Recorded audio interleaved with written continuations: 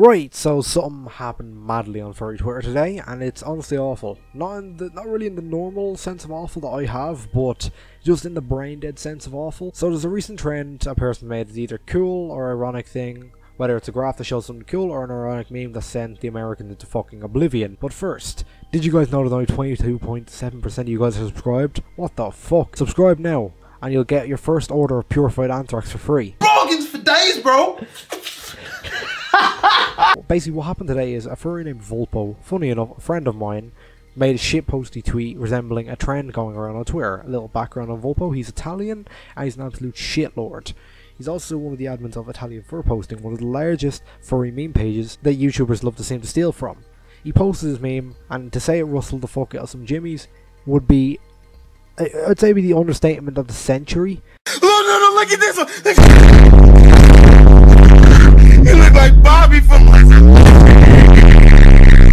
So then Volpo, seeing all of this, goes, Lab calls me up on the telephone, international call, of course, and says, Pizza pasta, mamma mia, Costa Concordia. But anyway, let's read the tweet that he made.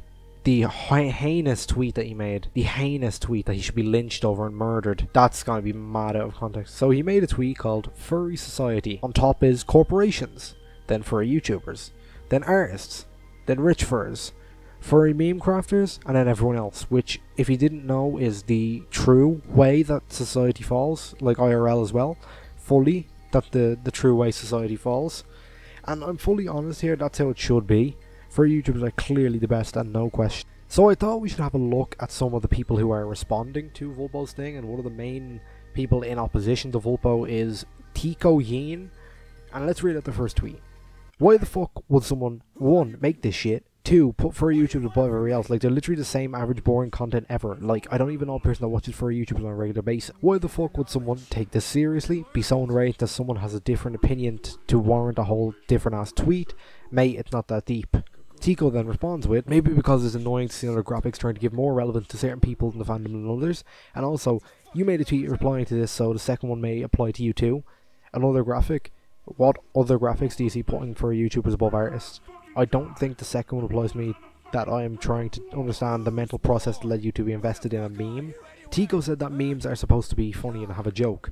Uh, no, the comedy is subjective completely. That's it's actually ironic humor, so wrong again. And then someone jumped to the defense, and that's all they do is people jump to the defense and then blocked the person speaking about this. So it's basically an echo chamber. Hey, who are you people? What do you want from me? We want the numbers, Mason. That's all we've ever wanted. And if I'm brutally honest, the fandom has a very bad outlook on YouTubers, and it's utterly stupid. See, you can create videos, but if it's got a mundane topic, a mundane thumbnail, no tags, and you don't share it anywhere, you can't expect to gain any subscribers or views from it. I've been doing YouTube across channels for up to seven years now, and I'm going to think I know how this shit works. But a lot, and I mean a lot of people took their anger on Volpo to the point where he had to make a fucking statement. Is this what we do now? Someone makes a, har- a humane, unhurtful joke, and once the Americans dog pile onto it until he has to give out a fucking apology. Oh, what's that? This person isn't American? Oh. Well, damn, the infection is spreading. Get that person a green card. You're gonna live in, let me see. Uh, let me lift up Google Maps. Let's put you in Flagstaff, Arizona. That's your new house. Flagstaff, Arizona. Enjoy. also, the fact that people believe that furry YouTubers are considered elite, you're fully fucking wrong. Having interacted with a lot of streamers and YouTubers that are, people see as elite, they're not. They're human beings who've worked for their positions, providing free content. Well, you don't enjoy it, but others do, those are the people who pedestalize because you're getting fucking jealous that other people are pedestalized. If you want to become a furry YouTuber, make a channel. I got a 1.64k of commentating over gameplay. But anyway, thank you guys very much for seeing this quick little video. I'll see you guys in the next one.